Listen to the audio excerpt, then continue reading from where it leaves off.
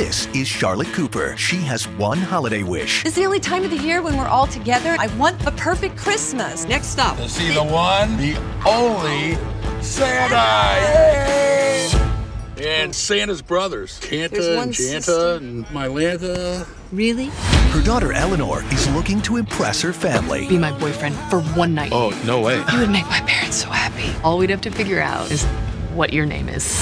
And her son Hank is celebrating the joys of single parenthood. Madison's been doing this weird thing. If you could not laugh, that would be great. Hi, Madison. You're such a jerk. Critics are calling Love the Coopers wildly entertaining. It's the perfect gift No matter what happens, we are family. Hear, hear.